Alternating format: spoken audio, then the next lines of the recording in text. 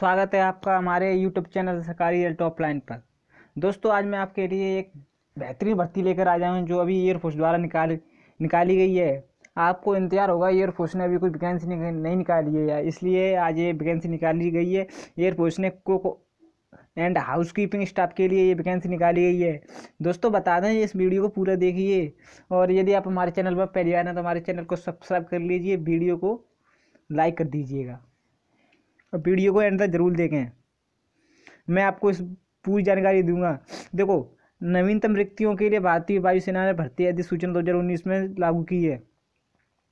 और इसमें भारतीय वायुसेना भर्ती अधिसूचना cook and housekeeping staff, दक्षिणी वायु कमान यानी साउथन साउथन कमांड में भर्ती निकाली निकाली गई है। वायुसेना भर्ती अधिसूचना तो भारतीय वायुसेना आई है मुख्यालय दक्षिण भारतीय।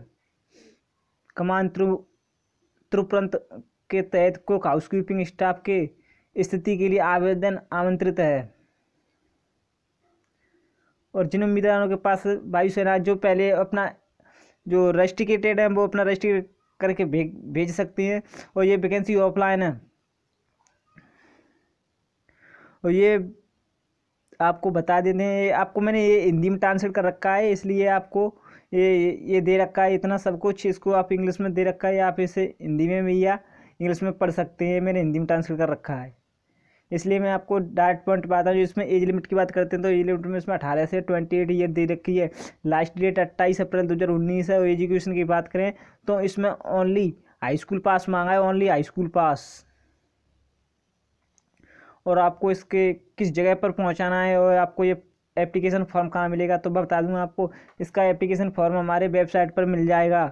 इसका देखो पोस्टल एड्रेस दे रखा है कुक के लिए। कुक के लिए आपको ओनली कुक के लिए एड्रेस दे रखा था station commander A F station chimney hills Chikkabanavara Bangalore में ये आपको इस एड्रेस पर पहुंचाना है। और फोर हाउस कीपिंग के लिए वाला एड्रेस देना पड़ेगा आपको। और आप एप्लीकेशन फॉर्म हमारे इस वेबसाइट पर दे रखी वेबसाइट से आप डाउनलोड कर सकते हैं।